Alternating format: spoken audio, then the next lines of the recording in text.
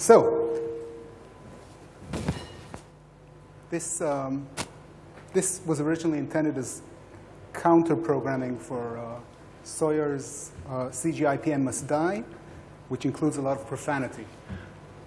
Anyway, so Miyagawa, Plack, in his original, uh, original, in his presentation about Plack, he says, look, there's all these different web deployment environments where uh, we need to run uh, code, like uh, Apache, uh, CGI, FCGI, standalone web servers, and um, each one has its totally different, its own API.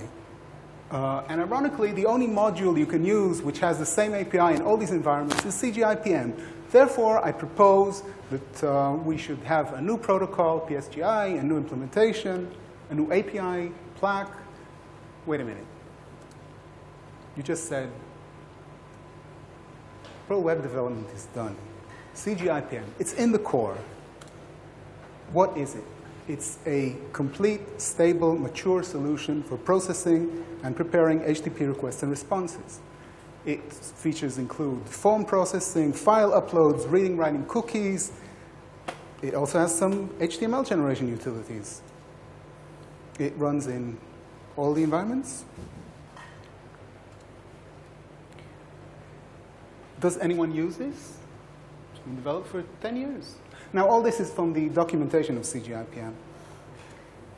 De facto standard. Who wrote this crap? Lincoln D. Stein. Also known as Professor Lincoln D. Stein from the How Perl Saved the Human Genome. Okay? When developing with CGIPM, remember, Lincoln D. Stein is smarter than me. There must have been a good reason for this. Now, assorted attacks against CGIPM. It's slow.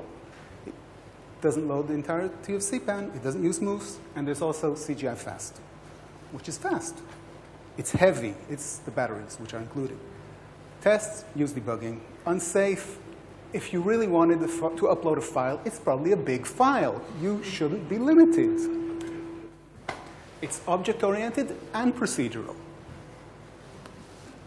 It has um, Okay.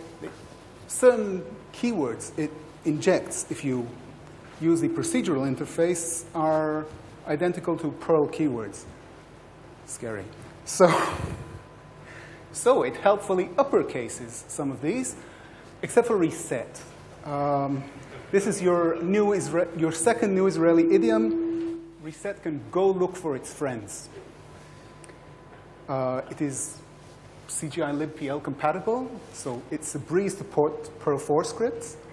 It supports server push, that's like a real-time web thing.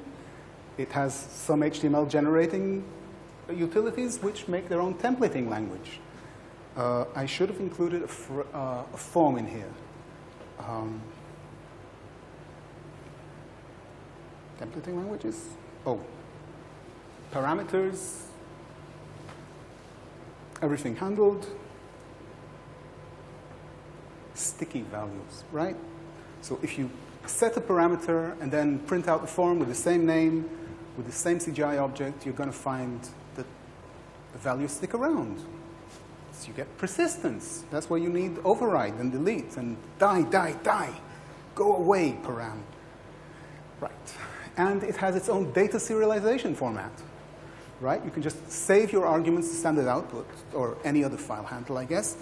Uh, and you can reinitialize a new object from that file handle. Um, this can be used for debugging, config files, multiple records. Yes, you can have multiple CGI requests serialized together. Oh, wait, I don't need that to speak. Um, it's actually on CPAN uh, as a module called Boulder IO, which uh, is used as the uh, input and configuration format of a number of bioinformatics utilities, uh, which I won't get into, which is a bit too technical. Uh, and I think I ran out of slides. Did I run out of time? I have 12 seconds, 11 seconds. Use CGI, it's, oh God, I can't, I can't, no.